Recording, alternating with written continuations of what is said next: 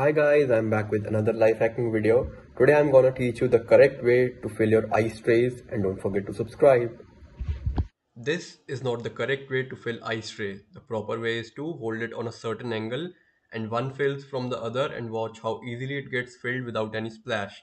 Simple and perfect. Don't forget to subscribe for more such tips and tricks.